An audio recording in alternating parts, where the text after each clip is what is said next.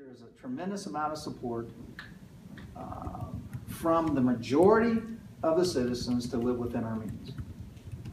Because I think, well, and I know, that's what I have to do in my business, that's what I have to do in my home, that's what you have to do in your homes. You have no choice. That's, and you know what that's like. And I, and I do tell this, you know, as a, as a parent, I never, raising my kids on a budget, I never wanted to tell my kids they, they were going to have to do without something. I didn't like that. I didn't like coming in and saying, you know, we're not going on vacation, we're going to go to the park. We're not eating out on Sunday, we're going to stick a cheap, you know, chuck roast in the crock pot. And that's going to be the big meal for the week. I mean, I didn't like saying that, but I did that because I believed there was a future for my kids. I believe that because I cared for them, and making a tough decision today was the way that I can ensure a better tomorrow for them. And I think we have to see the state in the same way. We, we can be pressured by the road builders who will say, listen, I'm taking you out in the next election. Well, I'm very fortunate. I have a real job. And, and nobody can threaten me and take me out.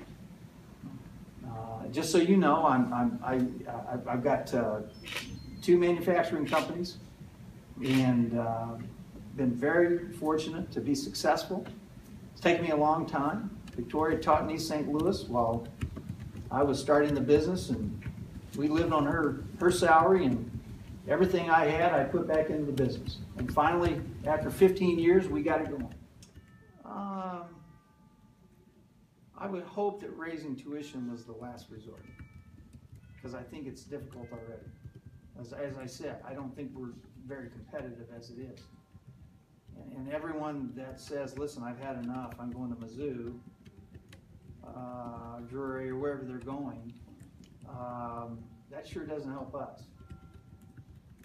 Um, if we could, you know, if you bumped, uh, if you bumped enrollment at any institution ten percent, you've got a, you've got an instant winner, right?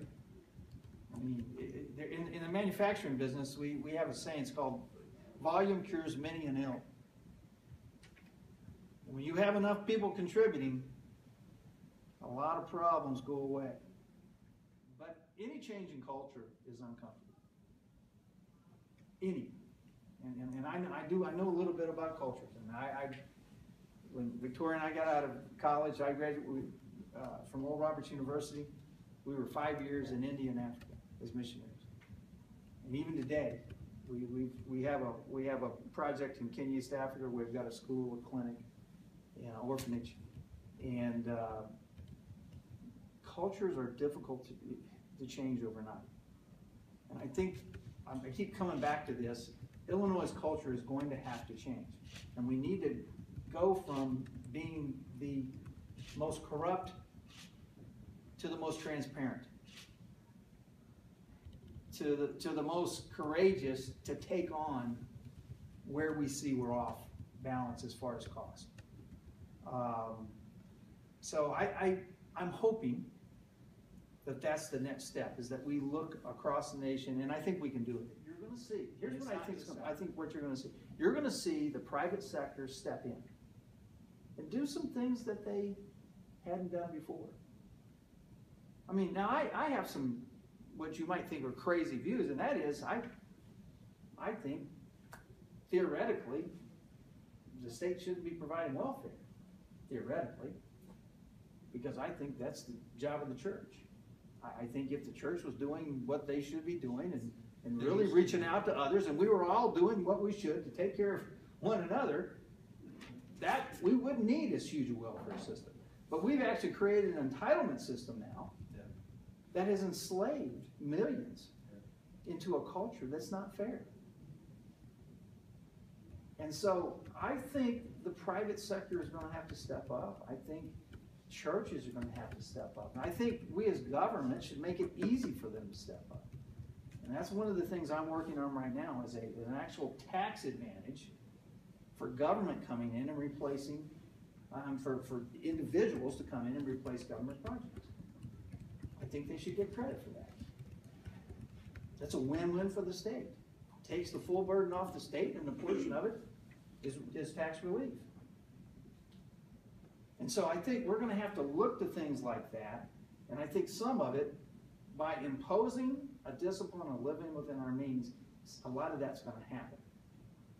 How, I don't know. But I do know that if we continue, even though some, as yourself, are willing to pay more, it's gonna push more of these taxpayers right out of the state. Uh, But I, I do, I do believe, as in any, any, any business like mine, sometimes I ask people to do more. I ask them for the same amount of pay to step up and just do a little more, to take on a few more responsibilities uh, within our factory.